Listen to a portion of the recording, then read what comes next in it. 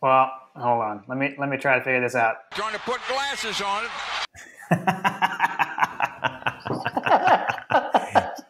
I was just about to say, what is he doing?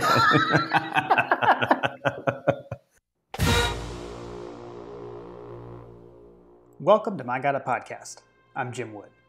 In this episode, John Powell and I preview the season opening matchup between the number 5 Georgia Bulldogs and the number 3 Clemson Tigers in the Duke's Mayo Classic in Charlotte, North Carolina. As always, remember you can follow us on social media at My God a Podcast. And if you like what you hear, please subscribe, rate, five stars obviously, and review the show. If you leave us a review, you just might hear it on an upcoming episode.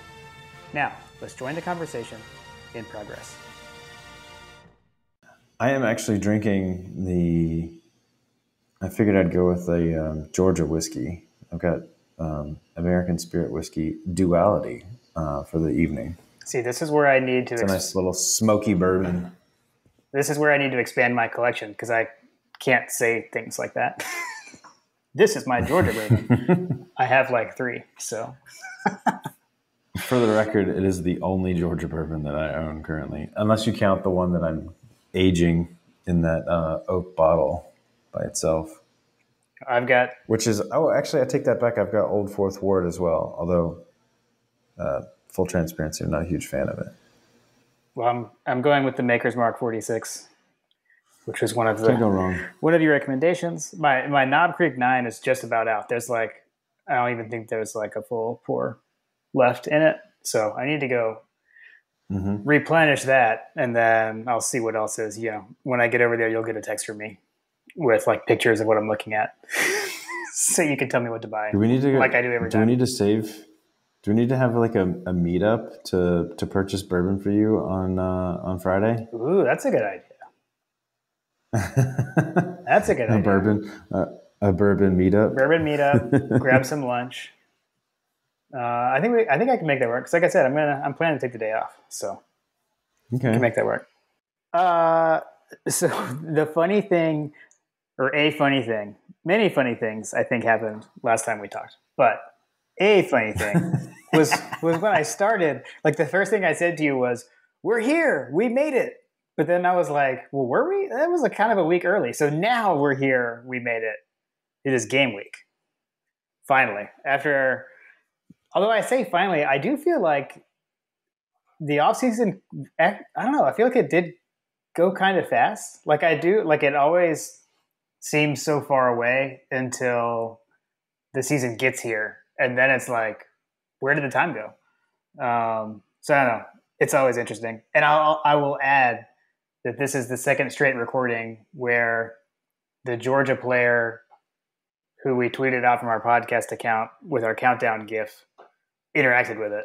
So last last recording we were 10 days out and Kieris retweeted our GIF and today we're as of recording, so we're recording Monday. We're five days out and Garrison Hearst retweeted our GIF and then he tagged us like he like posted it himself on Instagram and tagged us. So that was cool. So Garrison, if you ever want to come on, open invite. Yeah, absolutely. Would love to. Would love to chat it up with with one of the the true greats at, at the University of Georgia and the NFL for that matter. Um, yeah, that that was that was pretty cool. That actually took some effort to post on on Instagram. I feel like because it wasn't like a. yeah, It's not. It's not like an easy transfer. I agree. I was kind of like, man, how do you do that? I need to post it on Instagram.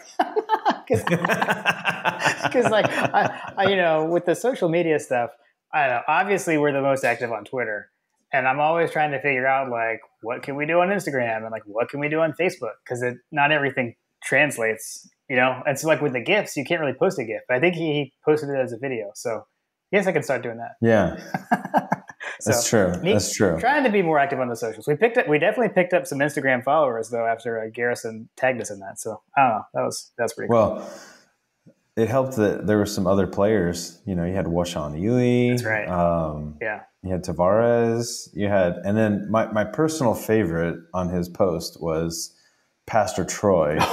yes. uh, a, a, a no more play in GA himself uh, jumped in with a nice little little laugh. He had, had a little chuckle out of that gif, I think. Um, Pastor Troy would love to have you on as well. So Absolutely. Yeah, that was that was pretty funny. So for those who haven't seen it, obviously you gotta definitely need to follow us on social media. Uh, we've been doing a. Uh, I haven't hit every day, but we've been doing most of the days. We're doing a countdown with the different players, and so today's was Garrison Hearst running into the hedges and hugging everyone right behind the hedges. From I think you asked me today, like when was that from, and I said I'd have to look it up, and I never got around to it. I because I that one's been in the back pocket for like a month.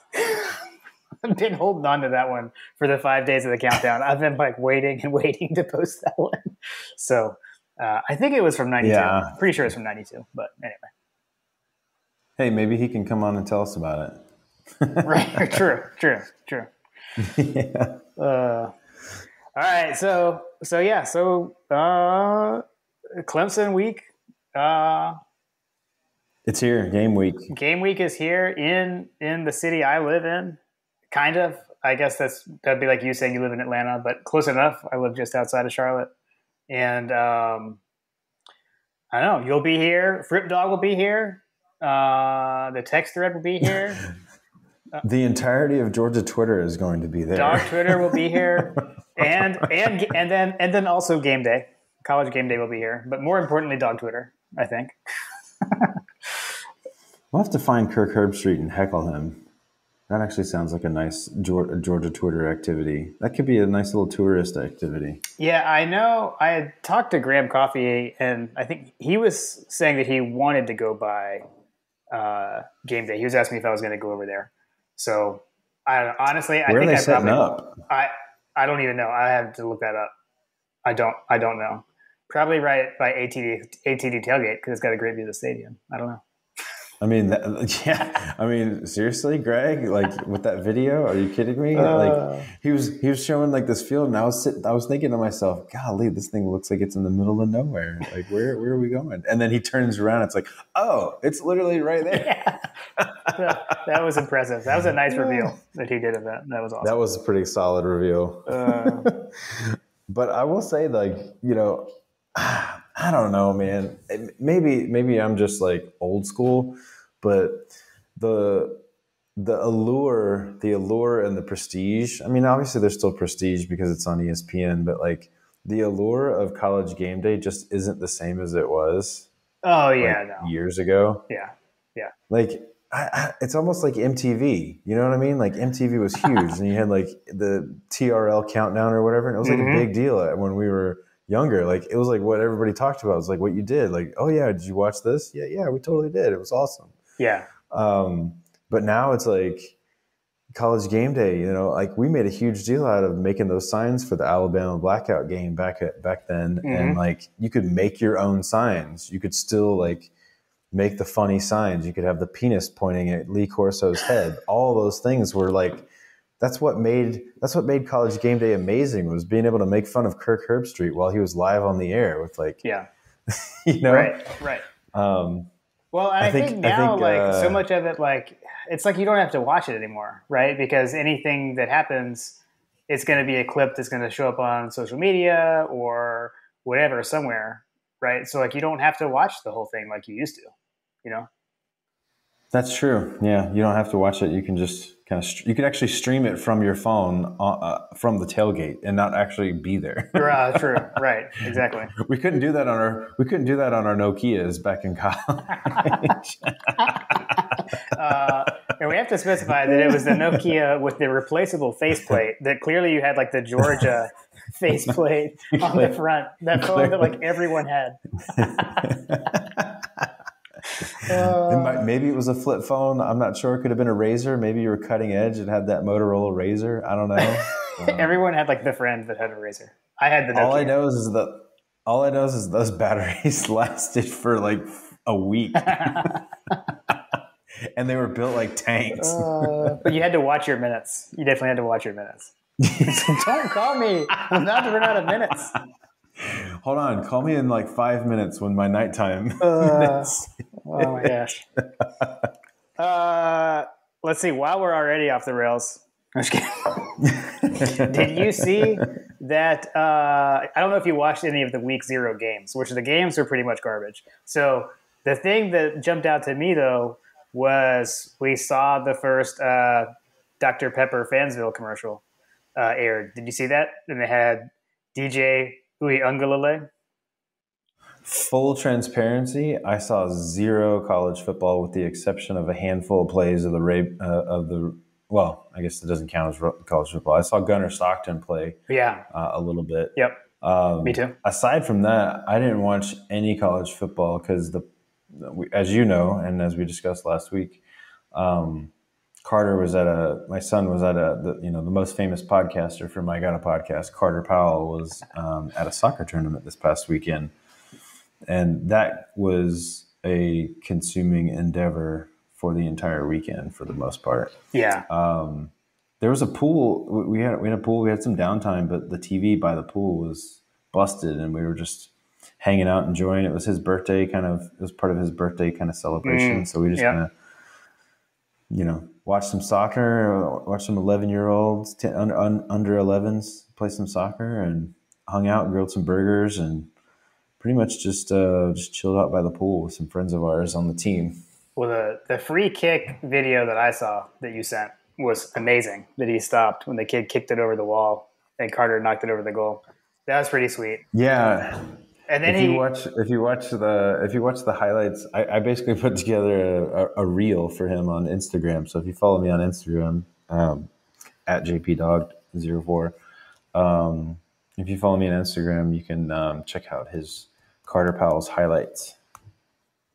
Yeah, and and he, I, I understand he got some words of encouragement from Kareem before the championship game as well. i believe that he did i believe that he did So did he receive that? I know I sent it. he did Okay, okay. he did he had a, he got a big kick he got a big kick out of that Okay. he said he said it was great um, Uh, Yeah, Dude, we right. had a he had a, he had a final, um, but yeah, we um, we made it to the final, uh, but we didn't we didn't come home with the first place trophy um, or first place medal, I guess I should say. Um, the team that they played was pretty tough, um, but he definitely was, you know. He was probably the player of the tournament. You know, I know I'm biased, but he, he played really well. He played really well. Yeah. He saved a PK, and unfortunately, when you go to look at the highlights, it's like a dad fail. he saved a PK. He saved a PK in the final, and I totally missed it. But it was like major, major props. Which you know, when when he made that save, um, there happened to be um, an Olympic development coach that was there scouting because there was a lot of talent at that tournament, and um, he came up and started asking me about Carter. So we lost the lost the game, lost the final, but um, he played well and got some recognition out of it. He's going to be trying out for the Olympic development team. that's pretty sweet. I wasn't sure what the O was in ODA when you sent me that, so now I know. So thank you. You're answering my questions it's- that I didn't even have to ask. That's amazing. Yeah, it's it's um, it's part of the ODP program. Which when you and I were growing up um, back in the day, um, ODP was like the be all end all, and it kind of died off there. But they've they've made some some inroads, as I understand, and um, there's it's definitely a big program for the state of Georgia now. I definitely wasn't involved at all because I was playing at Mount Pisgah and Fripp Dog was my coach. So Well, I played in, um, you know, I'm from Peachtree City, so I played with a lot of guys that were in the in the in the pool back in the day, and I myself wasn't, but I, I knew all I knew of all about all the guys because I played against them in some of the clubs. But anyway, we're we're on totally off the rails. So, so let me go back to DJ Uwe Un- Uwe. So the commercial is it basically has like commercial inception because there's a commercial inside of the commercial. So like in the commercial, Okay. like the uh, Bosworth's character is like watching TV, and there's a commercial on that TV with Uwe Ungalale is in that. So that's kind of how they worked it in. But then like so that happened, Okay. and then I don't know. This is where my brain goes. Uh, like I've seen a lot this week, or something else happened this week that made me realize something. So the first time I ever heard of, I'm just going to say DJ, was when he was on the show QB1. So I, I can't remember if you watched that show or not. It was called like QB1 Beyond the Lights. Did you, it's the show that Fromm was, Was that the one? Was that the? I was about to say, was that the one that Fromm and Fields was on? Yes. So Was it the same one, or was it a different So- season? uh, Ui Ungalale was in the Fields, Justin Fields season, not the Jake Fromm season. Okay. And so the, That's what I thought. The the connections and the intertwining that continue to happen with with that show are just so crazy to me. So you've got you know season one had Jake Fromm um, and um, and Tate Martell, right? So Tate Martell is the guy Oh, that yeah. has transferred multiple times now, but he started out at Ohio State, right? So then. Uh, Right. And then you get you get Fromm goes to Georgia, and then after season two, Fields comes to Georgia, and then you know Fields leaves Georgia, goes to Ohio State, which then Tate Martell transfers out, and then uh, Dwan Mathis, Dwan Mathis had been a, an Ohio State commit, right? Then he ends up at Georgia. Right. All right, so Mhm. now Dwan Mathis, after last season, transfers to Temple, and I don't know if you saw like Dwan Mathis won the starting job at Temple, and Yes. the guy that he beat out was also on season two of uh, QB one. he was the starting. Okay. He was a start. He was the guy who his name is Re-al Mitchell. Okay, and he was the guy. He was like the starting Q Ah. quarterback that was supposed to be the focus of, or one of the players it was focused on. He ends up getting benched, and he lost his job to DJ Ui Ungalale. So DJ Ui Ungalale was like an underclassman and took the guy's job like during the season. that guy, so Re-al Mitchell went to Iowa State. He ended up transferring to Temple, and now he just got beat out for the starting job at Temple by Dwan Mathis. So I don't know, like it's so crazy to me, like how all these guys from that show keep. I guess Mathis not technically, but you know he, he has at least some relation there, right? From the reason he left Ohio State was Fields went there and all this stuff, and then runs into the Re-al Mitchell thing. I don't know the whole. It's just it's crazy to me how many guys from that show, the way their careers have panned out. This sounds like a beautiful mind, like like Yeah. Russell Russell Crowe, like talking about the butterfly effect of, Uh. of Jake Fromm, like the butterfly wings flapped in the state of Georgia, and exactly, exactly. It's totally decided what to come to Georgia. totally what it's like. Uh, so anyway, so that was my random. a, a hurricane in college football. yeah. So know, that was my random tidbit. So another thing we saw this week was finally the official announcement came out. Uh, this had been long rumored and reported by I think Chip Towers a while back, but it was officially announced that uh, DJ Shockley is going to be the sideline reporter. So we've been waiting to officially hear who Chuck Dowdle's replacement would be. He stepped down. Uh, so yeah, so we got Shockley joining the the broadcast team. He's he's the new Loran, the new Loran. The new Loran, DJ, what do you got? can we get that? Can we get that dialed up? Oh, and if, if that happens, that's totally going on, on the soundboard. Scott, make it happen, bro. Yeah. Is it? I mean, is it? talk D- about- is it DJ? What do you got, or is it Shock? Shock? Shock? What do you got? Shockley? What do you got? I don't know. We'll have to see. We'll have to see how, how that goes. I think he's. I think he's gonna go shock. What do you got? Uh, uh, that- that would be. That would be pretty good. That's a good one. I mean, you can't go wrong either way. Because, I mean, talk about like a great, a great story just for the university. Obviously, hats off to the young man. Um, I mean, DJ is such a great ambassador and message for the university. Like, you look at in such a, in a day and age, day and age where you've got guys that like, if they don't start day one, they leave. And he stayed, he conquered, he came an injury away from having probably one of the great UGA seasons. It still was a great season um, Yeah. on his 2005 journey, but um, you know, for him to graduate from the university, to be an ambassador for the university for many years, played in the NFL for a little bit. Um, still hyped the university, still does to this day. Lives in the state and has made a has made a career um, here, and now he's representing us on the sideline. Like, man, that's just chef's kiss.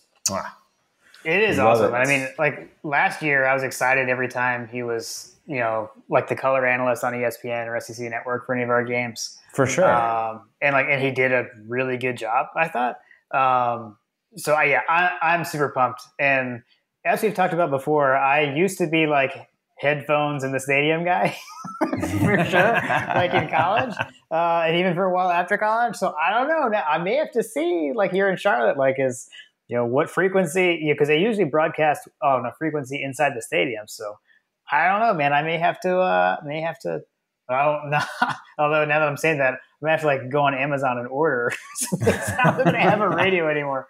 Uh, I don't know. We have to bring that back. We'd love to hear the the, the Shockley sideline reports. I do wonder how many times he was the uh, the subject of a Loran sideline report back in the day. I'm, I'm sure we could dig into the archives and, and find Loran talking about DJ at some point. That would be awesome. That would be funny. Um, when did when did Chuck when did Chuck start doing it? Oh, uh, it's a good question. I'm trying because I do feel like uh, okay, this is I would have to look it up. But in my head, Chuck was there.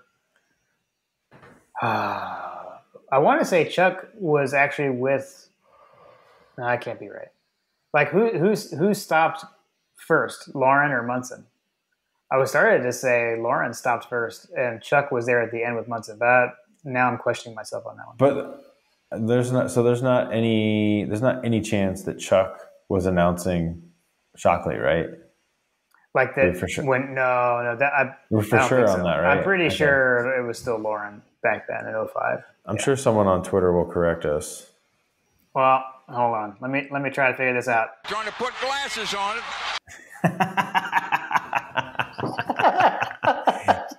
I was just about to say, what is he doing? that's, that's awesome. I don't know how much the soundboard is, but can we put a PayPal out so we can keep it and build on it?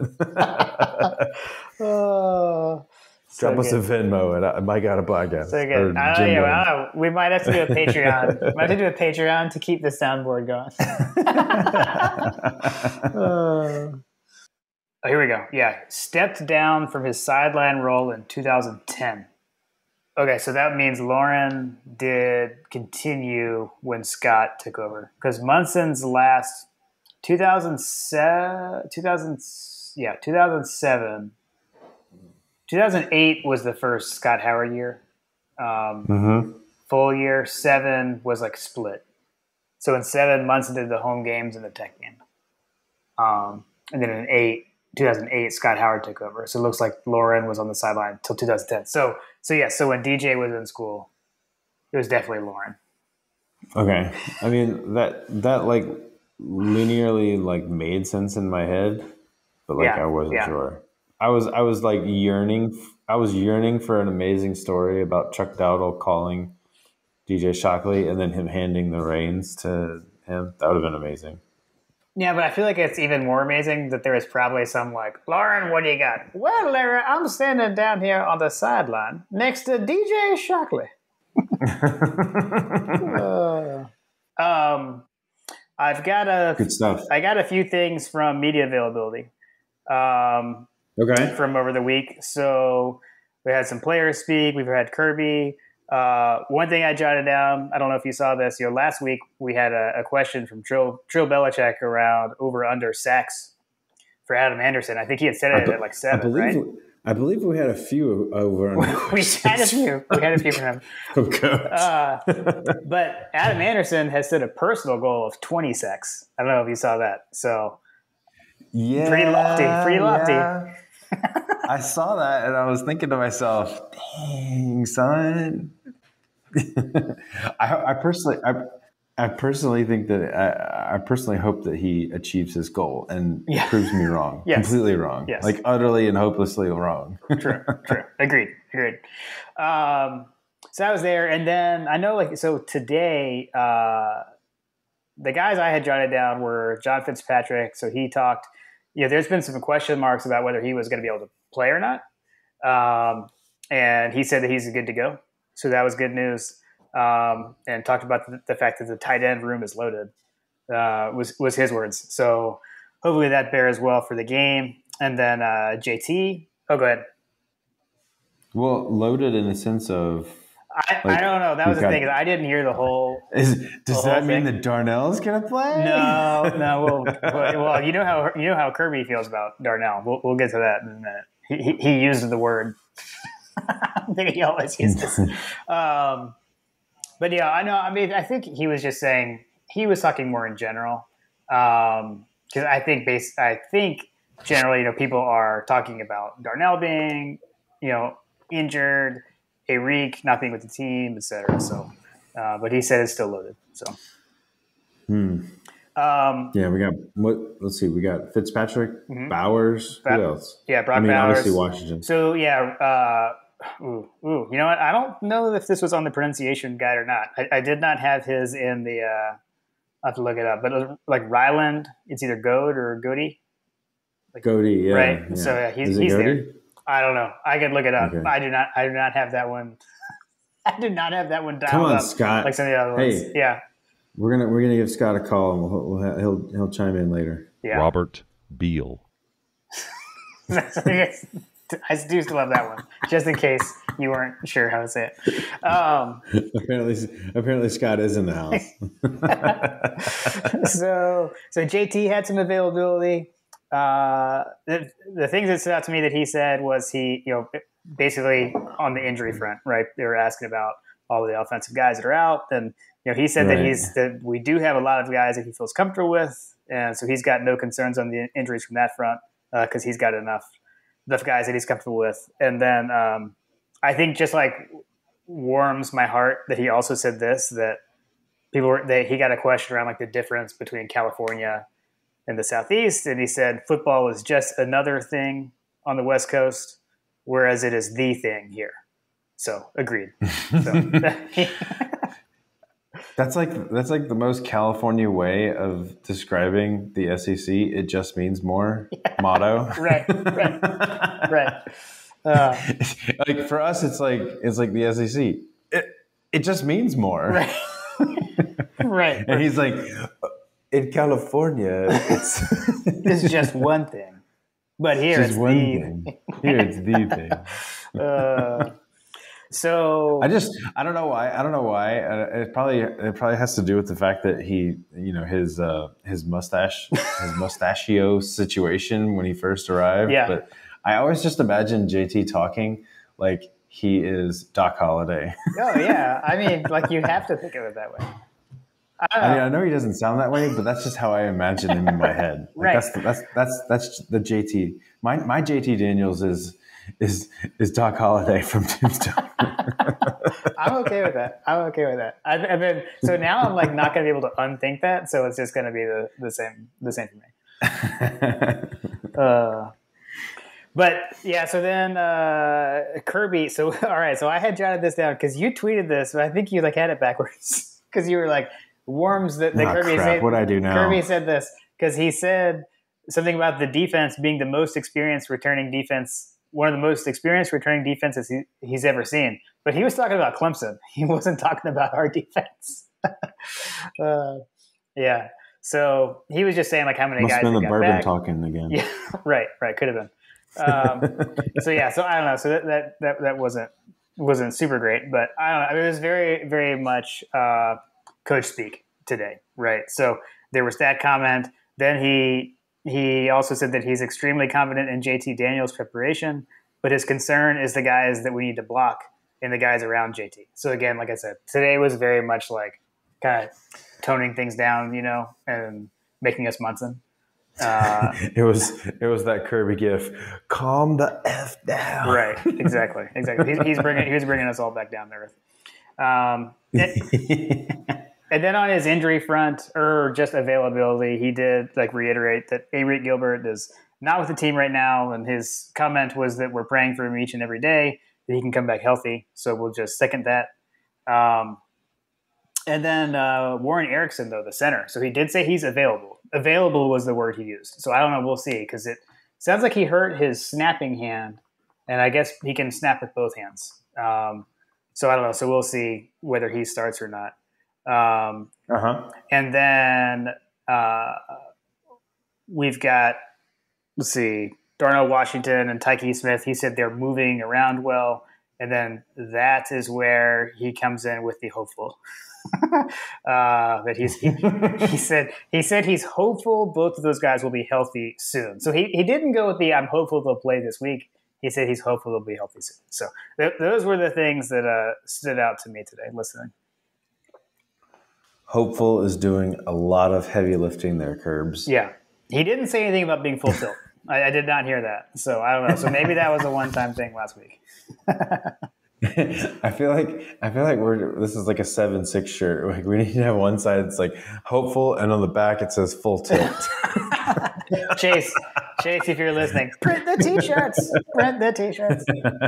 Uh, it could even like be like you know like a sad Kirby, and then on the back it's like the Kirby, the Jumpman Kirby. right, right, right.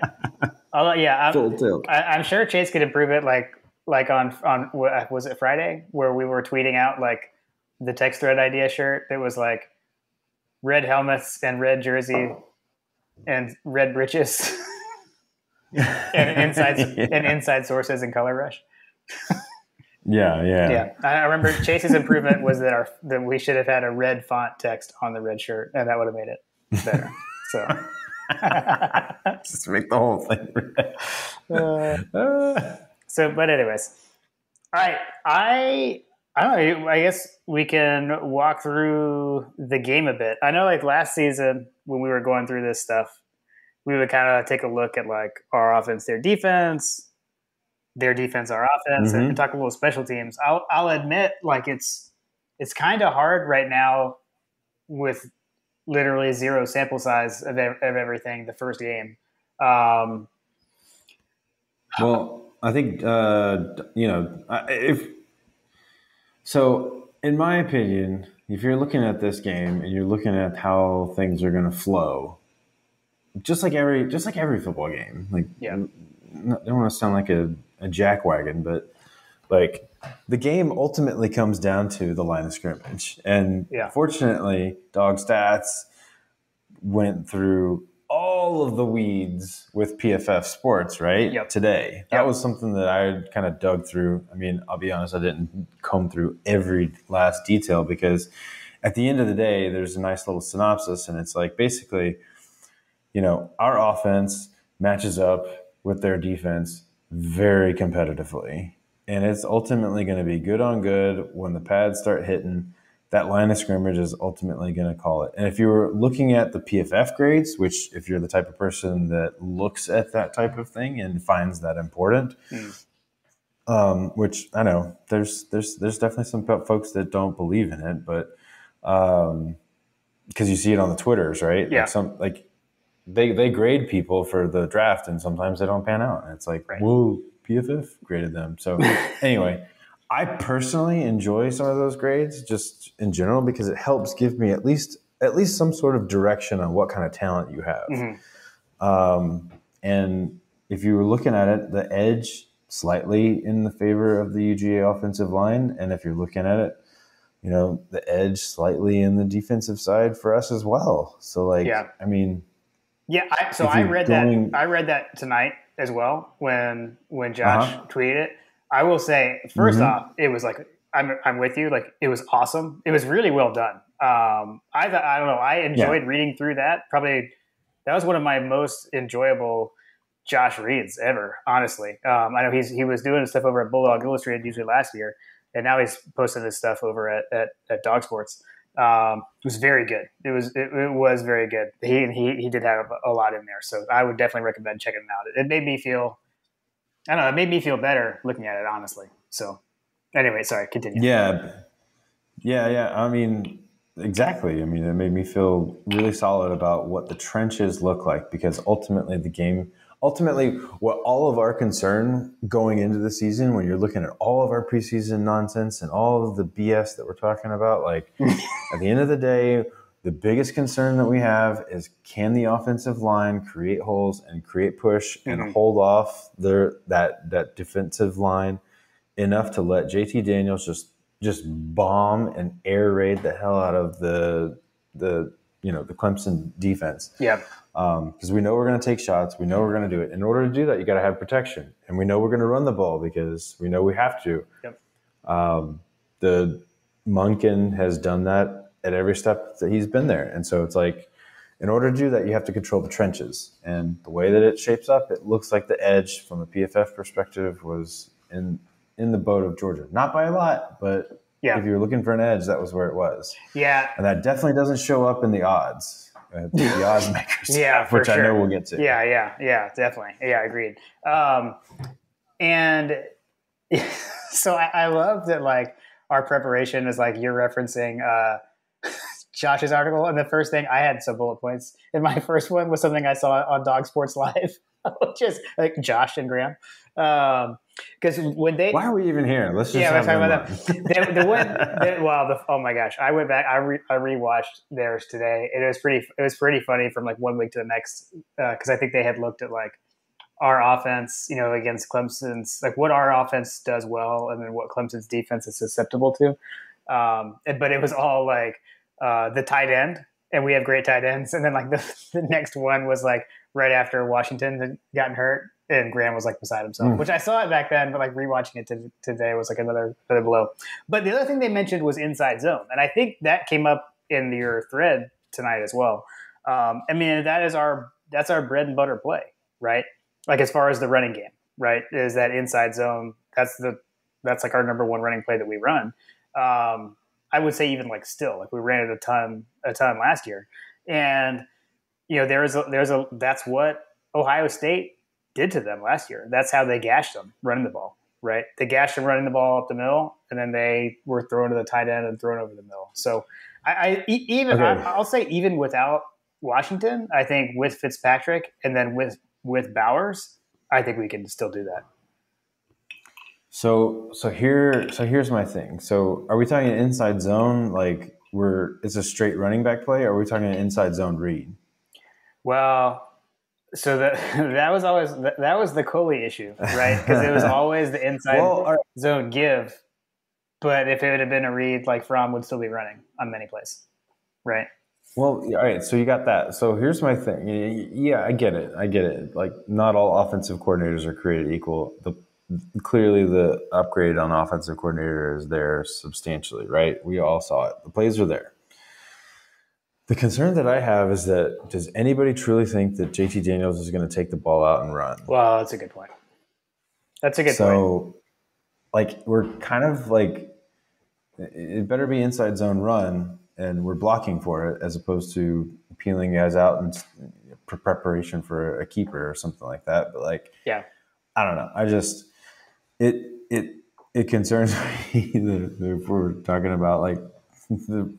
I don't know. I have I have PTSD, Jim. I have PTSD from running it up the middle with Mark Richt. Like we're running it up, up the middle for two, three yards, two times, and then we're going to punt it when we run, run a pass and it's incomplete, and it's like, oh, I okay, but so let me let me let me Up the gut, Let me gut, let me stop you gut, really quick though, incomplete. because so if if anyone if, if you didn't see, uh, we dropped a a 2021 season hype video today on our YouTube channel, which full disclosure is my it was my old. I had a YouTube channel that was related to my old blog, which is I guess technically it still exists, but like I don't post it anymore. And so we've converted that over to the My God podcast YouTube channel. And so I've been doing a lot of like looking through old games, trying to find the right plays to throw into that hype video, right? And if you go watch the hype video, John, you will see we had many of our breakaway long touchdown runs were just that. There was running between the tackles out of the shotgun, right? So and and it was multiple guys doing it. I mean, James Cook had a had a long one against South Carolina. Uh, Zamir White had did it against I think he did it against Missouri. I know he did it against Kentucky. So I don't know. Like I, I, I will say too. Like I know everyone wants Kirby to open the offense up, and I think, I think you can make the statement that he already did, or whether you say he did or Monken did or whatever. The offense was opened up last year, and it's like what you just said, John. That the plays were there. We just weren't making the plays because, frankly, until the last four games, we didn't have the right quarterback to get the ball to the receivers, and that couldn't keep everything honest, right? And then everything really clicked there at the end of the year. So, I mean, I we're still going to run the ball, right? I mean, we're not going to just not run the ball. Like we've got, and we've got five really good running backs. So I I do still expect a heavy dose of Zamir White for sure. Like I don't think that's that's not going anywhere. Right. Well, I definitely, I definitely have much more confidence on execution Yeah. um, with the current offensive coordinator that we have in the house. Yeah, yeah, um, as well as the offensive line situation. So, you know, I think that um, I don't know. I, you mentioned it earlier earlier about the the that Kirby has concerns about the guys surrounding JT. Like yeah. my Munsoning, and, like, Munsoning intensifies. Munsoning intensifies uh, dot gif. uh, um, yeah, no, it, it definitely was not a, a, settling feeling when he tweeted that. I get, I or mentioned that it was like a, yeah. Uh, back down to reality of like, man, being hyped, like, oh yeah, we got it, we figured it out. Like it sounds like it sounded like the offensive line. I mean, yeah, Buck Belue hyping hyping the offensive line and saying, I have zero concern. Mm-hmm. True, true. Well, I mean, I don't know. So, that so that's something that I'm definitely super curious to see, right? Like again, is Eric to the center? Is it Van Pran-Granger? Is it Salyer? Right. That I'm really curious to see that, and just to see what the make of it, makeup of it is, and who's coming in and out. Um, so here's so here's my here's my scenario. If if the offense like we, we've talked about the weaknesses of of our team. Yeah. Uh, if if the defensive on the defensive side, the, the cornerbacks and the secondary ha- have been the question mark, right? Mm-hmm. On the offensive side, it's the offensive line's consistency. Yep. And I guess I mean to this point, obviously with the offseason, like maybe the tight end, although there's a lot of smoke that Mr. Bowers is going to have a coming out party here coming up on Saturday. Right. Um, which I am here for the surprise tight end. um, so, all right. So if if one of those two areas ends up being a strength, I feel like that we're going to be good. Mm-hmm. I mean, if if both of those end up being what we are worried about, knock on your head, Jim. Like it, it could be a long day in Charlotte. Um, hmm. If one of those two, if we can shut them down on defense and keep it close, we can eke out a win and maybe cover the spread, that kind of thing. Yeah. Um, but on the on the flip side, if the offensive line can get rocking and rolling, I'm taking. I mean, at that point, the over is the over is going to be there. You know what I mean? Yeah. Because if the offensive line is rolling and the secondary is not, then we're looking at a high scoring affair. Yeah, I mean, I we're gonna have to we're gonna have to put up some points. I mean, right? I mean, like like we said, in that was our problem in 18, 19, and even 20, right? That we would run into the juggernaut offense, we couldn't keep up. So, I mean, we're gonna have yeah. to keep up, right? I mean, and but their defense is good. Like they've got a stacked. I mean, I think they're kind of similar to us, I believe, right? In like their front seven is again their strength. I know like Myles Murphy, uh, defensive end, is really good. Um, I mean, it's it's it, it's like you said. I mean, it is going to come down to the trenches. I mean, honestly, right? I mean, that's how every game is, and I know it's a cliche, but I think that's what we'll, what we'll see here. Um, Such a cliche. It is, but especially with us, right? Like, especially with our questions on offensive line, the revamped offensive line, you know, in the bowl game, frankly, was not great. You know, so is it that same five? Have there been changes? What improvements have been made, no. et cetera? We'll see. The revamped offensive line with a full offseason and fall camp in exactly. place to install the existing offense. So that's what yeah. we're like. Honestly, it's gonna. This is gonna be an audition on the strength of Matt Luke's coaching profile, if you ask me. Yeah. Like because we saw last year the Kirby can coach defense um, Dan Lanning can coach can coach defense. Uh, we've got you know obviously Scott Cochran's not there, but we can execute on on special teams. Um, mm-hmm. The plays were there from an offensive play calling standpoint. The talent wasn't there from a quarterbacking standpoint. The the big question mark came was when we had to rebuild our offensive line from the ground up, basically, um, because yeah. our our stalwarts were missing, basically.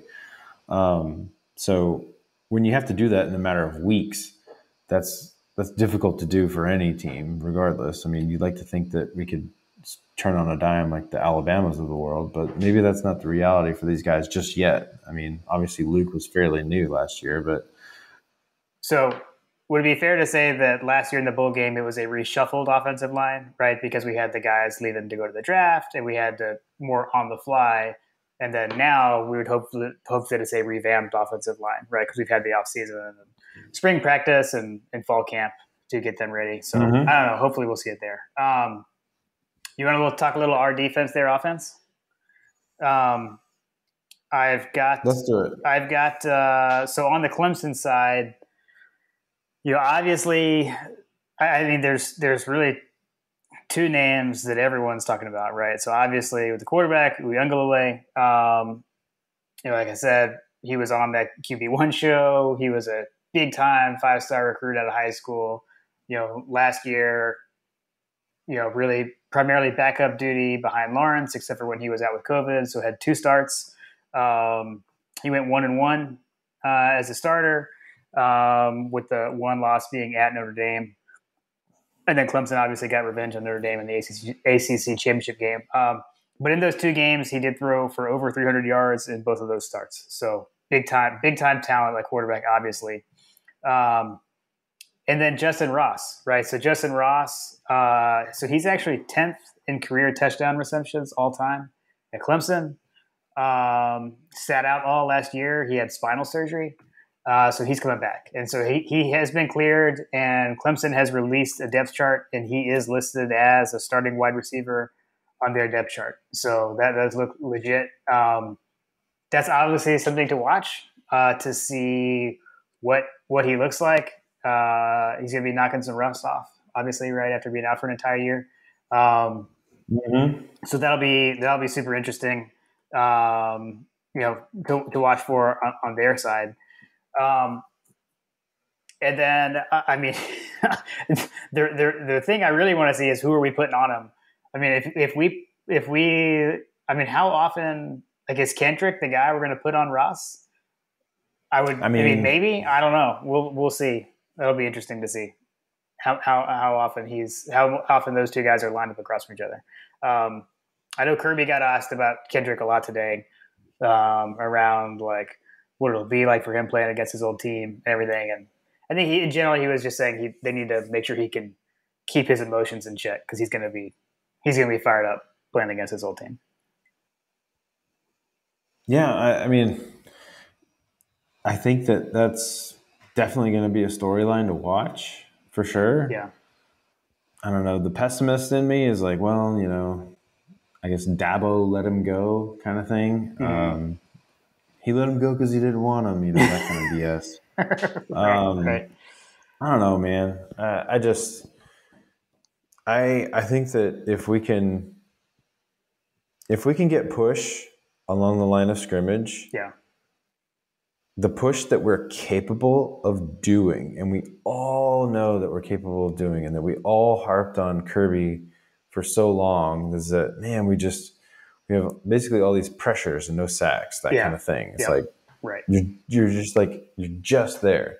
If they can get over that hump on the on the front seven kind mm-hmm. of thing, um, I don't care. I don't care who the hell lines up because we're gonna beat them. Yeah, like, yeah. If we can get push, if we can get push on both sides of the line of scrimmage, like those, the, those types of battles snowball into victories. Mm. Yeah, I mean, I so, think I think like on paper, I like our front seven over there, offensive line. Um, I don't know, and, and again, like let's we're gonna we're gonna find out, right? We're gonna see what what Adam Anderson can do as the guy, right? I mean, to this point, he's he's always flashed. He's been, but as a role player, he's always flashed, right when he's in. And so now with him being that that three down player, right? What's he going What's he going to look like? So, yep. But I sure. mean, you know, we're gonna have Jordan Davis taking up at least two guys in the middle. right. Okay.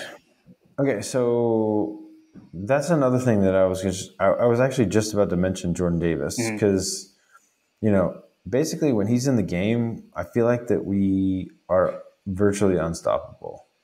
Um, because he is just going to cause disruption in ways that are not seen on the stat sheet. Mm-hmm. So you know, from a defensive perspective, I mean, frankly, if Jordan Davis is in the in the game and we have all all those five star, four star talents that are in our depth chart. Mm. I mean, you can basically throw you can basically throw a dart at the board, and you've got a blue chip player at any position along the defensive along the defensive secondary, linebacking core, star position, uh, defensive line, everywhere up and down the field. You're gonna you're gonna have a quality blue chip player in place. Um, Yeah. So I'm not really too concerned about things from the defensive side as long as we get pushed. If we don't get pushed and we get pushed around on the defensive side, like I said, it's going to be a long day. Yeah. Because eventually that guy is going to find open people. And the wide receiving core, as we've seen in the past, they've got they've got returning wide receivers and guys that we are really hoping we're not going to be healthy appear that they're going to be healthy.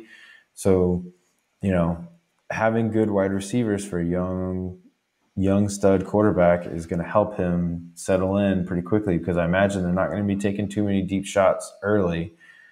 But if they start warming up, they're gonna they're gonna they're gonna start throwing over the top. And if we don't get pushed on that offensive line, uh, it's going to be a long, like I said, it's going to be a long night in that in Charlotte. But on the flip side, and this is kind of where I'm going with this thing is that I'm not like I, the more I think about this and the more I've warmed up to the fact that we've got so many weapons on the offensive side. Not that we don't on the defensive side, but we just have. Mhm. I just I I just don't see them stopping us on offense. I don't see anybody stopping us on offense, quite frankly. And again, it's going to come down to the offensive line. As Yeah. long as they have, as long as they can have that consistency that we had when Stetson Bennett was the quarterback for the University of Georgia Yep.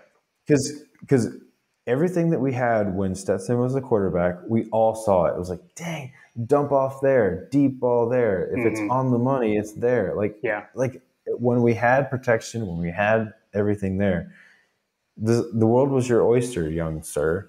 Um, and JT Daniels is that guy, we saw it at the end of the at the end of the season. And if you look at the stats, I mean, I think the the the last four or five games, uh, we've hit the over on on points. Mhm. We've hit the over on, on point totals when um, when JT was in the game.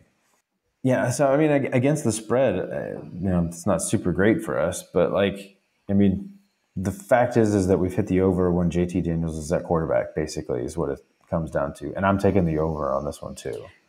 Yeah, yeah, yeah. I think so too. I will get to that, but I, I agree. That's the thing. I mean, I, I feel like this is one of those to be. Well, we'll get to the macro overall thing. I, I guess my, you know, the concern if you look at this is that like their running game doesn't concern me. I mean, Etienne was by far their leading rusher, and he's in the NFL. Um, unfortunately, he just got hurt. Um, but I mean, their leading returning rusher had 190 yards last year, so they're not returning this like stable of five backs like we are. Um, from as far as my knowledge, not I'm not a Clemson expert, but just looking at it, they're, they're not returning anything like that on their end. So to me, it's going to come down to their passing game. Like you said, I mean, we've got I think you know safety. I think we're set right, but we're replacing both corners, and we got Brini. You know, uh, played some star last year, but wasn't the starter.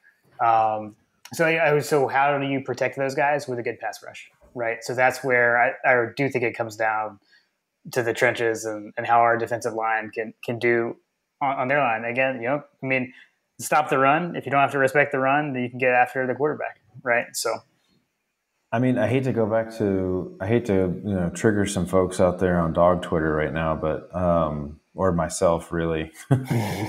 um, if you go bend, don't break on these guys, Mhm. um, because like you said, we've got, we've got quality safeties at the back. And when you said that, I was like, you know what? He's right. Like, as long as we keep the game in front of us, I like our chances. Yeah. If we can keep the game in front of us, um, and they don't go over the top too many times on our on our safeties, like we can we can control. It gets down, it gets down to like field position and things like that. Like, yeah, um, it, it's yeah. I mean, the more I think about it, I mean, it really does just come down to how effective we're going to be on the offensive side of the ball because I think that we've got enough there to hold them in check on the defensive side, regardless. Because, like you said, if they can't get the run game going, like, yeah, whew, yeah, and we can start dropping if we can if we can hold them with three four you know linemen you know I, I don't, I don't know, man. I like our chances on the on the passing game, regardless of what happens. Like, yeah, they may take some chunks like 10, 15, 20 yards, but like I don't think they're going to be going 40 and 30 yards. Mm-hmm. Yeah, yeah. And then, I mean, you know, the, the, the, the, final phase that we haven't talked about is, is, is, special teams. So I know, like we hit on it a bit last week, right? So you know, we we won't have Scott mm-hmm. Cochran, but we've got Muschamp has stepped in. But I know we kind of s- spread it out anyways. Um, it does sound like I mean, so they have both of their kickers back as well. Sounds like like they've got they've got good kickers too, like we do. Um, so I don't know that I, we'll, we'll see. Um, how much of an effect that has because if both teams are pretty stout on, on special teams that might that may end up evening out. Um, but i definitely i don't know i, I love our special teams um, and when we're talking that field position game right one thing i do remember from last year is a lot of hidden yards were made up um, with the way Kearis Jackson was fielding punts frankly right? He was always you know he could come up and, and cut that rolling punt off uh, before it roll back and get a lot of you know like I said, hidden yards kind of there on the stat sheet. Um, so I don't know. Mm-hmm. I like that. I like that on our side for the field position type stuff as well. So something you just mentioned. Mm-hmm. Muschamp is going to be on the on the field on the sidelines for us. He will be on. Yeah, we did. We did. We did. That came out of the press conference too. I can't believe I didn't mention that. yeah, he's not going to well, be in the booth. I, he's going to be on the sideline. I was just going to say that, like, I don't know if you can do this, but I'm going to make a rule right now, like, mm-hmm. screw everybody else. Um, I'm going to go ahead and lay claim to the GIF that he gonna, he's going to create of screaming at some poor young kid, and we're going to create that GIF it's gonna have my God podcast tagged onto it. Uh, Jim, I'm gonna need you to like pull that video as soon as it pops up so that we can claim it. But uh, I'm calling dibs. I call dibs. I call dibs on the Muschamp gift. Look, we don't, we don't, in the Georgia in a Georgia polo. We only put we only put the My God podcast logo on the ones that we made. If, if we've retweeted something, you know, if you see a gift come up from our account and there's not a My God podcast logo on it, that means that we've found it from somewhere else and we did not create it ourselves. So just I don't know. Uh, just, just, want to throw that out there. We, we, don't we don't claim that if, if our logo is not. we do enjoy just, it. Just, we, we are admirers of the good gifts as well. We don't just create them. I'm gonna make sure I have a battery pack with me at the tailgate, which one we'll get to in a second. I'm gonna make sure I have a battery pack with me so that I can tweet dibs as soon as it happens. uh, awesome. All right, you want to get you want to hit into some listener questions before we do our final predictions? Uh, let's get. I mean, we were just talking about the tailgate. Do we need to talk about what, oh, that's what in we're there. doing? What's, what's... That's in there. That's in the listener questions. All right, all right. Then yes, let's. Why why don't we proceed to the questions? Let's Mr. do it, Mr. Wood. Uh, first one comes from Hambone uh, at Hampton underscore Huggins. Um, we kind of talked about this one. How do you think Clemson's offensive line will handle our elite pass rush. Um, we're kind of hoping they don't, right? I mean, yeah, that, that, I don't know. That's about all I got to say about it. I, I think we kind of talked through that one. Do you have anything to add on that one? I think that this is the the toughest defense that they'll have ever played ever played before. Mm. Um, and I know that I think uh, I'm cheating a little bit, but um, I think one of the other questions was, you know, how many people are going to be in attendance or whatever. But I mean, yeah. I have a feeling that it's going to be a pretty hostile environment for for him. Not that mm-hmm. Notre Dame wasn't a hostile environment for him previously. Yeah, but it just means more in the SEC. That's right. Just as JT Daniels. Um, yeah. All right. Next one from Ethan Martin at UGA Dogs 1990. Mm-hmm. what will be Georgia's longest play from scrimmage and will it be a run or a pass? I got very specific. 47 yards. was, uh, Did you really? Is I, that really what you're going with? I don't. That I did, I wrote that down as a joke answer. I have no idea. I did. I did. I was reading through our media guide, um, and so like some things I was remembering kind of offhand from last year. Like I do know our longest rushing play of the year was that first play against Florida uh, you know, when Zeus took it 75 yards. So we did have a 75 yard running play last year. Uh, I saw mm. in there, I, we had a lot of deep passing plays. Um, I know just against Mississippi State alone, we had multiple. I think there were 50 plus yards. So, Mm-hmm. uh, I don't What's your What's your final What's your final answer? I'm going to stick with go. what I, I'll go 47 yards, and it's going to be a pass. That'll be our longest play. Okay. Hmm. I'm gonna go 65 yard pass to Brock Bowers Oh wow! Okay, I like that. I like for a touch for a touchdown. I like it. I like it. Um, But if if uh, that's that's my that's my dream. That's my dream. If I was being if I'm being realistic, it'll be to Kearis Jackson. oh, obviously, obviously.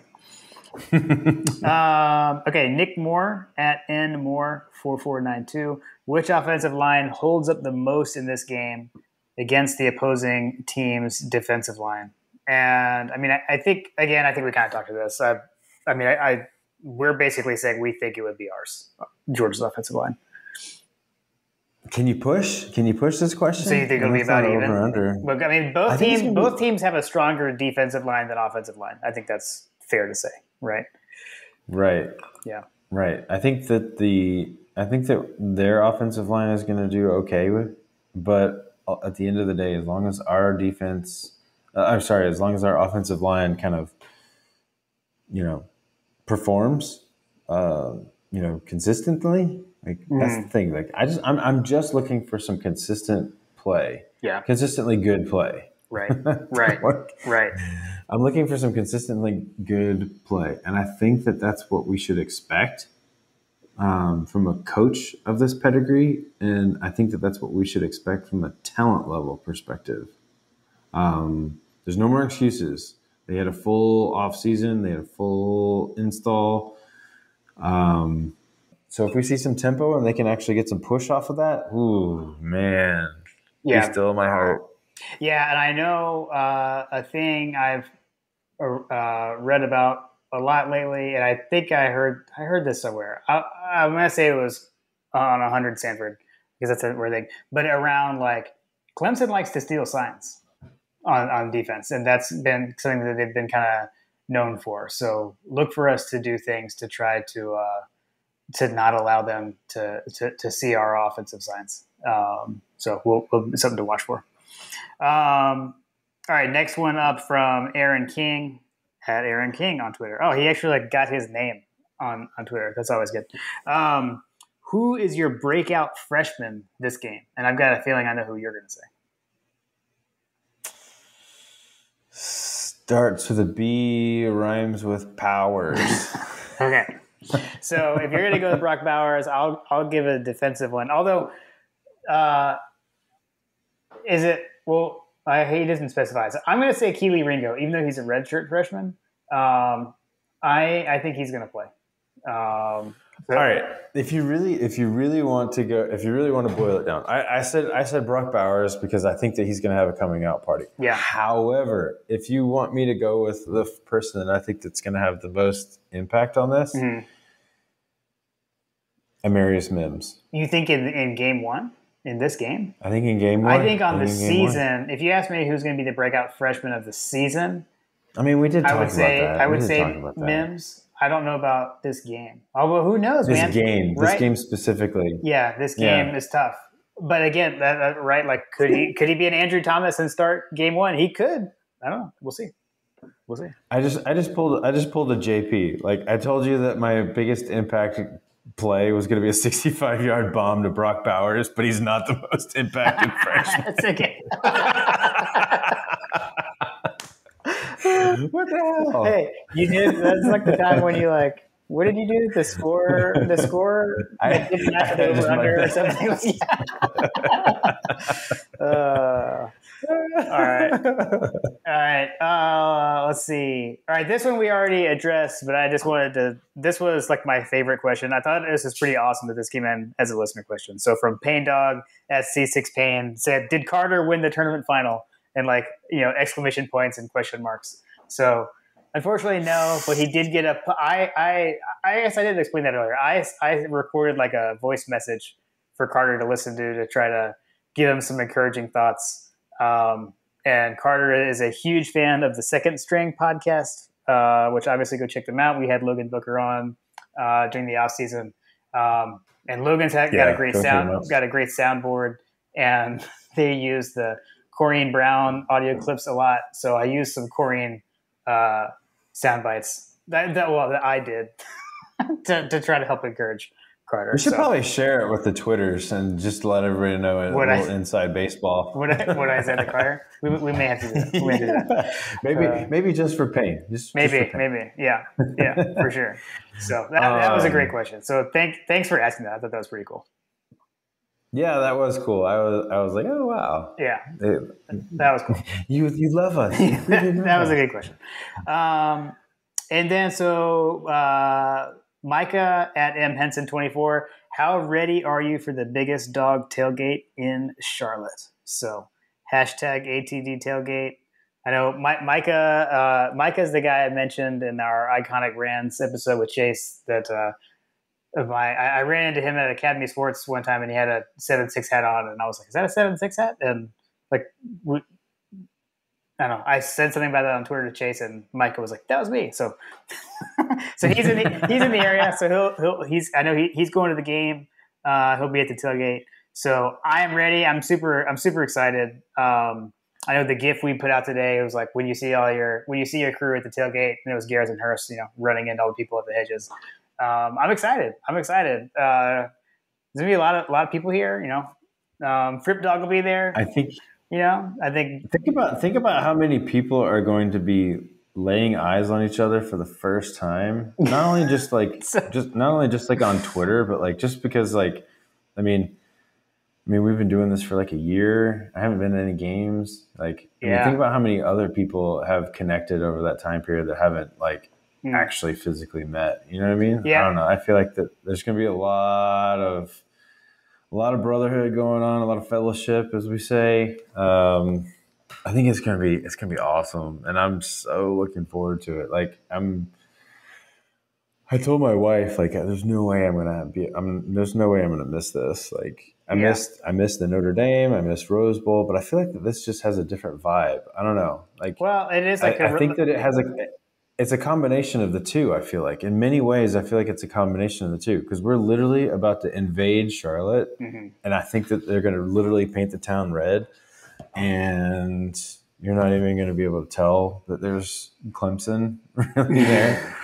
Um, at least on the streets, you know what I mean? Because I feel Mhm. like that a lot of people are going to be like me that don't have tickets. They roll in, which hashtag if you got some tickets, give them- to me. I'll, I'll gladly take them. Uh, Shameless plug, Right. Shameless plug there, but I'm Right. planning on watching the game at the tailgate. Um, but uh, but yeah, I, I think that there's there's that aspect of it, the takeover, like we did in Mhm. Chicago slash Notre Dame, and then you've got the big time game atmosphere of the Rose Bowl. Yeah, and And- and the return and the return to full stadiums, right? I mean, you know, we talked about Mhm. last year. I mean, last year, yeah, we I haven't I haven't put much thought into this. Like, I didn't go to a game last year. That was the first time I didn't go to the game since I was a kid. You know, I mean, I'm 41 years old. I, I think the last time I didn't go to a game in person was like.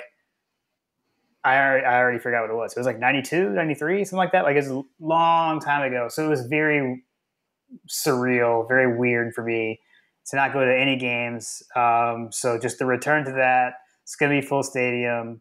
Um, and from the like dog Twitter aspect, it's always fun to like meet someone uh, whose like Twitter name is not their actual name, and like to be like, like you know, like my dad, for example, like his is Frip Dog, and he'll be like, I'm Frip Dog, and like.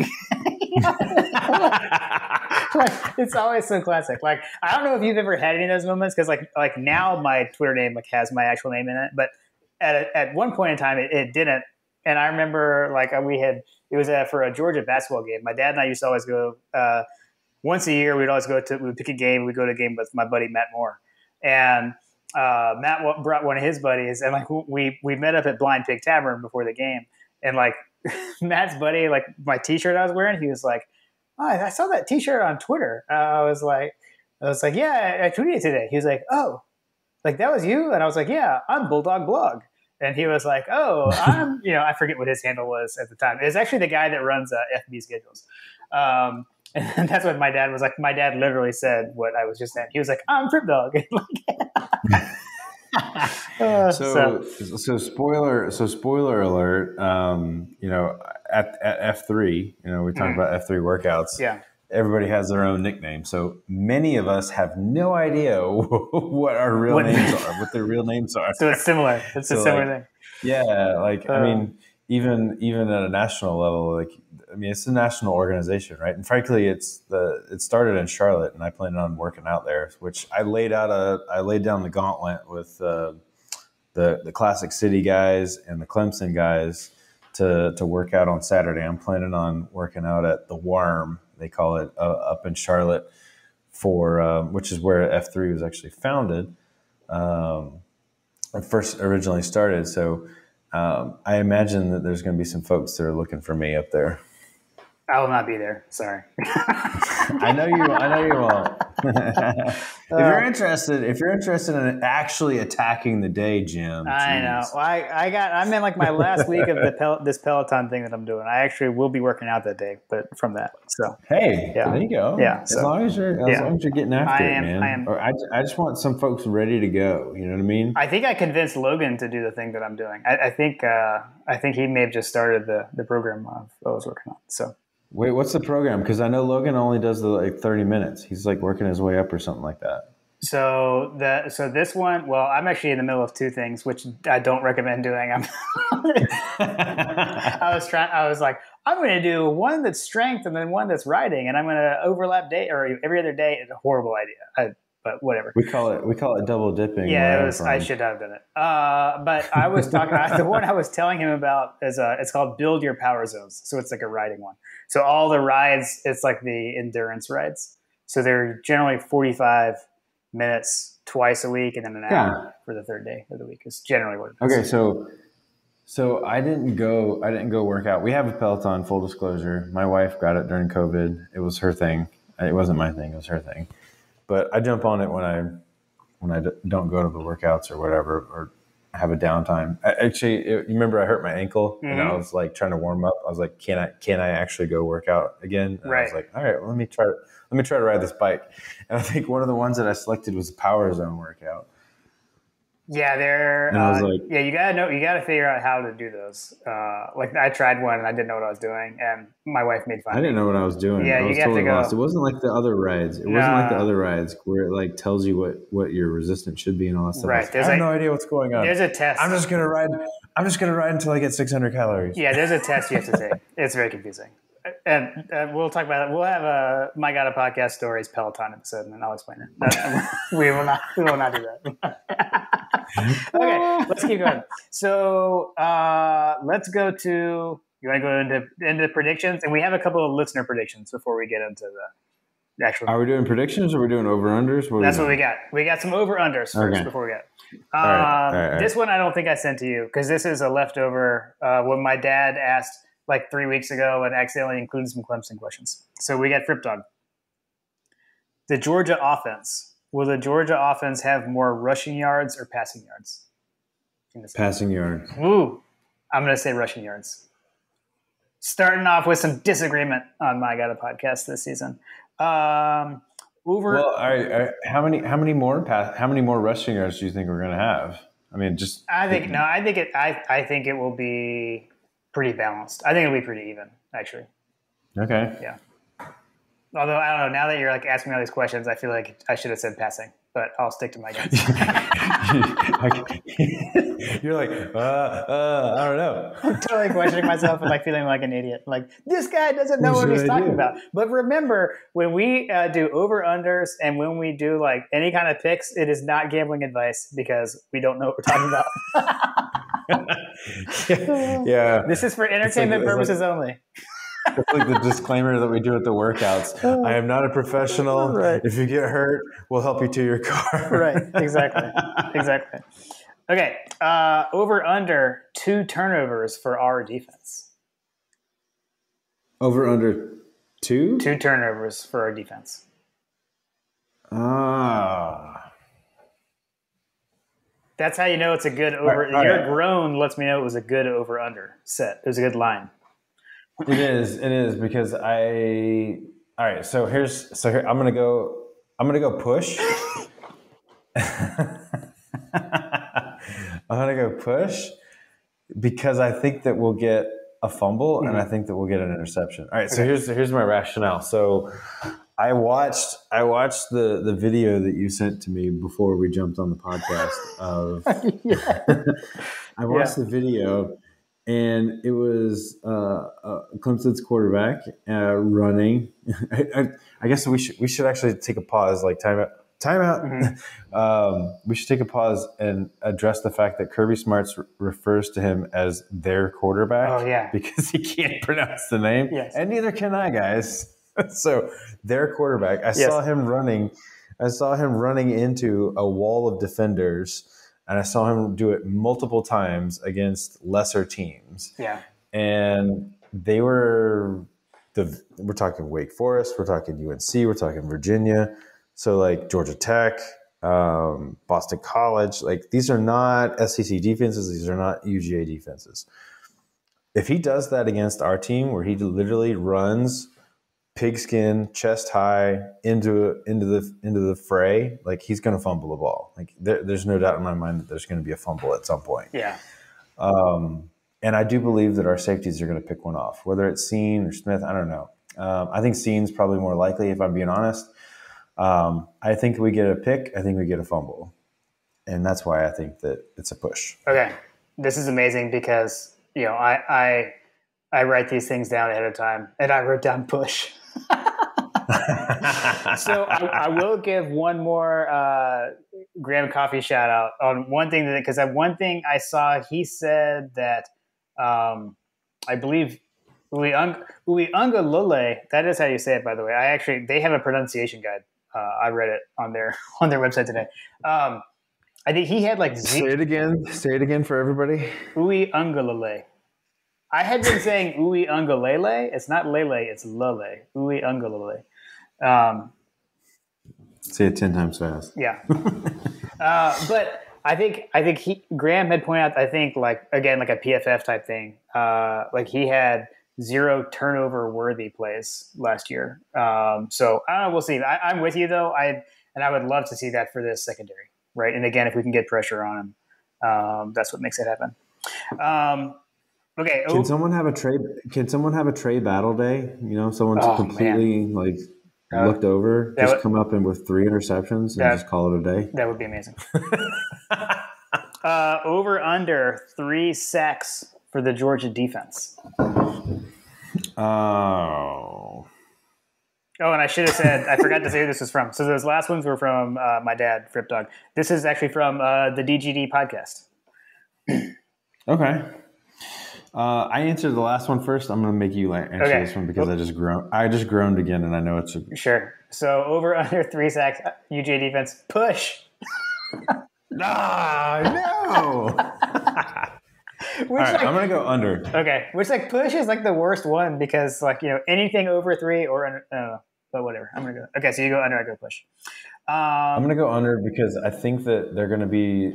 I, all right, so I'm going to go. I'm going under, and I'm, I like giving. I like giving rationale. Like you, you throw out a number. It's like okay, okay, we can hear What the rationale. mean? We can What does that mean? We can hear the rationale. I like hearing rationale. Uh, my rationale is is that they're going to be training him. They've they've probably been drilling it into his head that he's got to get the ball out quick because we've got so much speed up front. I expect that he's going to be making some quick throws, which is part of the reason why I think that he's going to make a poor throw at some point, which is why I think Cine is going to have an interception hmm. because he's going to make a poor decision really quickly because Adam Anderson or someone's going to be coming on third and long or something like that where he's going to be forced.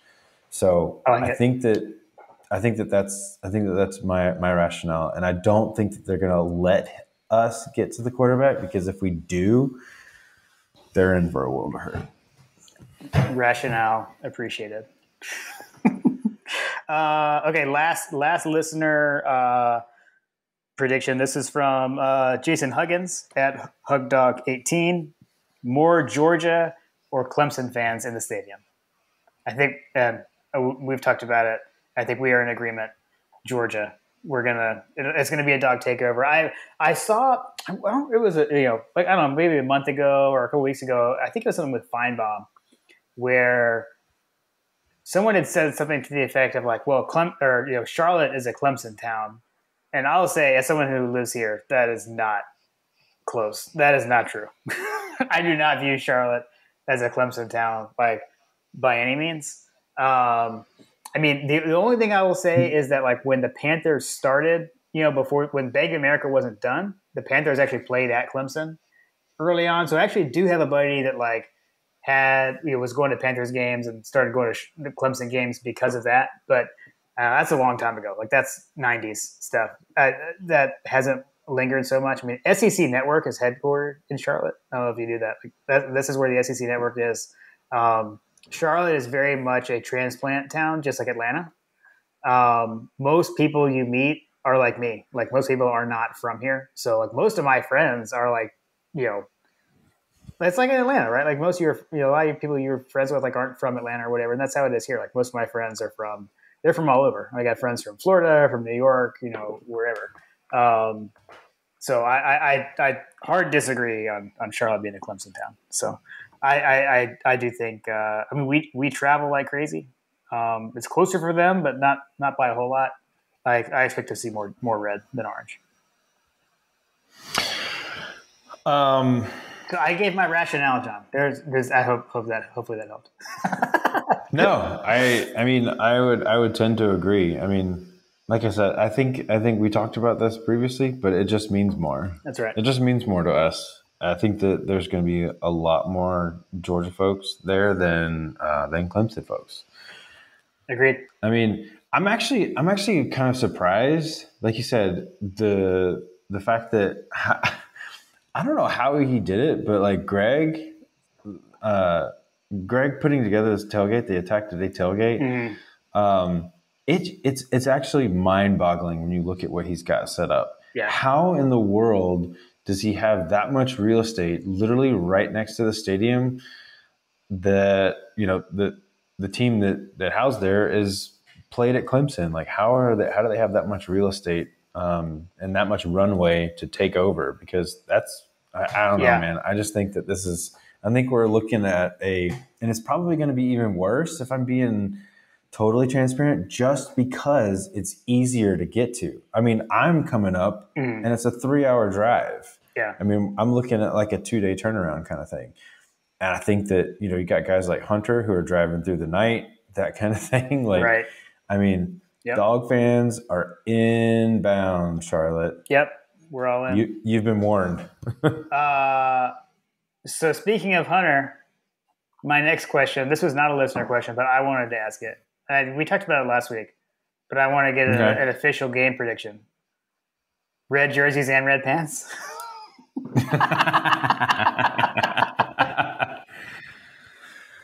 oh, I, I, think I think we're I think we're wait. Uh, actually, that's a uh, who's who's tagged who's tagged the home team. We are the actually, home team. My understanding is we are the home team. Okay, so we're red and they're going to be white. That's my prediction. Okay, that's boring. I agree. Wah wah. We're gonna be red. red. So uh, I will say though, uh, tidbit: JT Daniels has yet to play a Georgia football game in a red jersey. Really? Yep. So for his first uh, play, I mean, he's dressed out, but he has not stepped on the field in an actual play in a red jersey. So his debut was Mississippi State. That was black jersey game. His second game was at South Carolina. We were on our road whites. His third game was at Missouri. Again, road whites. And then his fourth game, Peach Bowl, black jerseys. So we have Vanderbilt to thank for that because they canceled our senior day. He, he would have worn red in that game. But uh, aha, yep. So little little little tidbit there. All right. Interesting. That, that actually is a pretty fun tidbit. Yeah. So, okay. The actual predictions. So, um, I know we always look at OddsShark, not a sponsor, but that's where we, we, we go to look up for our odds. So for I only like it because of the user experience. Yeah, agreed, agreed. Um, all right, so they got Clemson is favored by three. The over under is 51 and a half. Um, so when I, I like to do my little math, I'm like, if you were to break the score just using that, um, that would be something along the lines of like Clemson wins like 27 24, 28 25, something like that, right? A three point win. That, that's, that's what the line says. Um, uh, you want to go? You want to go first, or you want me to go first on this? Hmm. You go first. Okay. Uh, I, I, I I'm not going to get too. We've talked about this a lot, but so I'm not going to go too into depth on the on the logic behind it. But in general, I do. I see it being, I see it being a tight game. Um, I think. I mean, everything we said. I think it's going to come down to line of scrimmage. I think it's going to come down to field position. I could see it. I could see it coming down to special teams. So I'm going to take the over. Um, I'm going to take a Georgia win, 31 to 28. Um, I'm not saying that will it will necessarily be a you know jackpot Hmm. game winner, like it's tied in 31-28. Although if it if it Hmm. does come down to that, and it is a jackpot game winner, then we're gonna have one of these situations. The stadium is worse than bonkers. All right, over to you. Okay. Um this is a tough one for me because it's it's like it's almost like you look at the you look at the spread and then you look at what's going on on the predicted score. So basically Clemson's predicted to win, cover and hit the over. Um Yeah. predicted score is 41 to 31 basically which just seems just obnoxious to me for a game like this to have a 10 point win um, in a game that basically looks like a push Mhm. for all intents and purposes Yeah. um, i don't know man i i just go back to look at the um, i don't know man I, points per game is kind of what i'm i'm like relying on here with with Todd Monken's, you know, history. Mhm. I almost, I, I mean, I almost feel like that it's going to be flipped, if not worse. Um, I think that we can hold these guys. I think we can hold them. Um, I don't know. I'm going to go 46 28. And I don't know that that's a ridiculous score, That's- I'm going 46 No, I I love your prediction. Your prediction. Your prediction crushes my prediction. hey, you're sticking to So- it. So because a little a little bit uh like you know uh, a little behind the scenes, right? So you know, I mean, last week I, I'm I'm just I'm glad that you're in this space mentally because last week it was if we don't win the SEC, the rails have fallen off. but then within like within 24 hours, it was like hardcore Munsoning, like oh my gosh, the sky is falling, and then now we're back to you know a big a big win like that. So I like it. I like Okay, it. We've come so for full in- circle, in and my I life- and I appreciate that. in my life i don't have a lot of anxiety about like things i just kind of have this i don't know i just have this personal kind of motto that everything's fine which i realize like could also mean that, that my house is on fire like that gif or whatever meme um, this, this is fine. fine. Everything's fine. fine everything's fine um, i don't know i just feel like things work out in life but when it comes to georgia football i very much have anxiety about many things Uh. largely due to ptsd from past regimes um, Yeah. I don't know. I don't know, man. The more the more I think about this, the more I've I've looked at it. Like we've looked at it. We've actually beleaguered this, in my opinion, for everybody's beleaguered it because it's just been everything that we're talking about. Everything everybody's talking about is this game this Yeah. weekend. So, um, the more I hear and the more I feel and the more that I look at it and the more you look at the stats, it's like, okay, we got the edge on the line of scrimmage.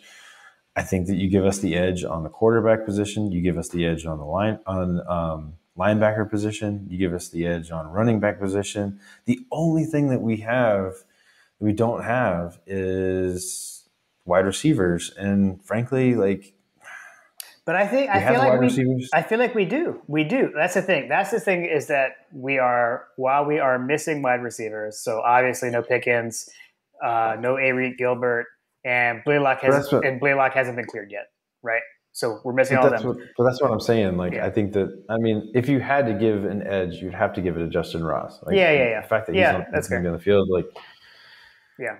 I mean, I, I don't know. I think that having those having those guys returning is going to be a benefit. Now, the question is, what are these freshmen going to bring to the table? You know, a different different positions. I don't know. I just the more I think about this, the more that you look objectively at it, like the more I think about it, is on paper, I feel like this is a nice win for us.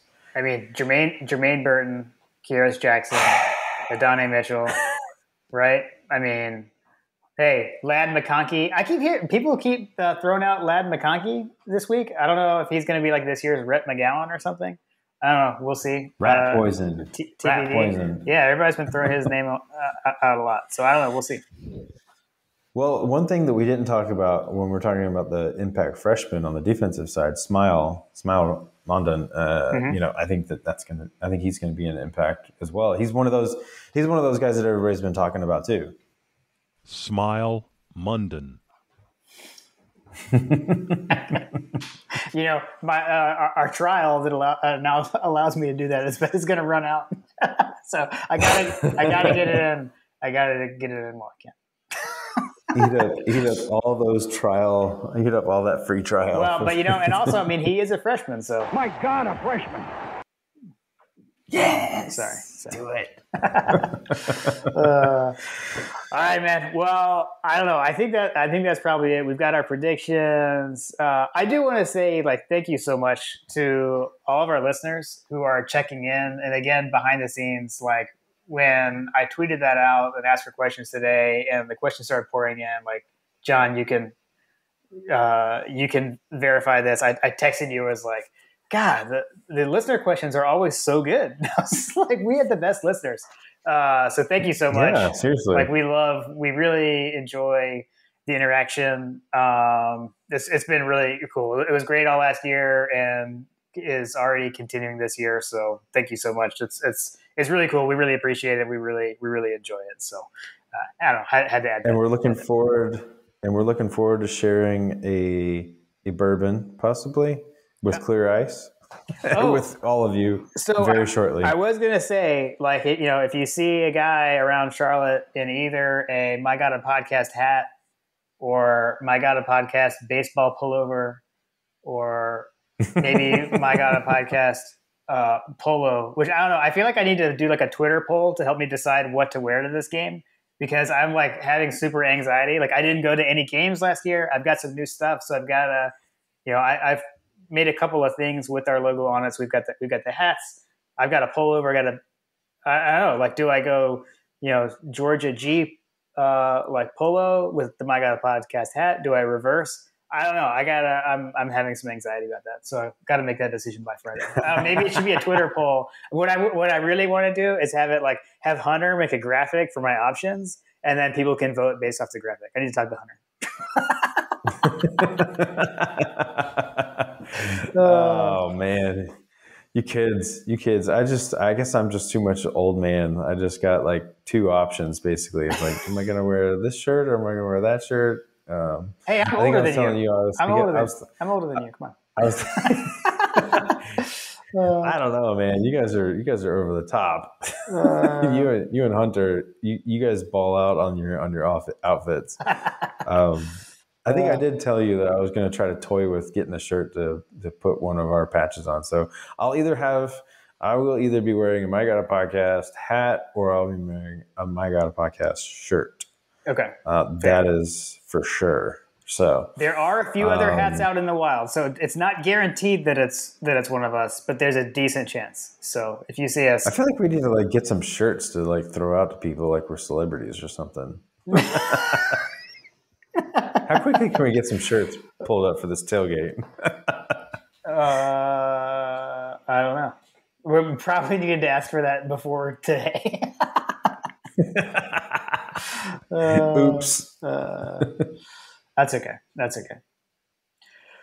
Alrighty. So yeah. So if you see anyone with a Mod Got a Podcast hat or polo on, there's a decent chance it's us. Say say hello. We'll we'll be out. We'll be out and about uh, in Charlotte. We'll, we'll certainly be at ATD tailgate. So you can come find us there. Absolutely. All right. Well, I will see you, if not if not Friday, we'll try to hook up Friday. If not Friday, I'll see you. I'll see you. I'll see you Saturday. So looking forward to it, man. I'm super jacked. Hey, man, I'm, I'm looking forward to it as well. Um, coming up solo, so it's a little bit of a getaway, bit of a birthday trip for me as well. I know I had, I know I was in the Dominican, but like this is this is also a birthday trip for me too. It, it continues. It continues. You're stringing it birthday out. continues. You're stringing it out. Stringing out that 40th birthday. Nothing wrong with that. Nothing wrong with that. Uh, all right, man. Well, I will. Uh, I'll see you this weekend, and hopefully our predictions hold true. Absolutely, go dogs. Go dogs.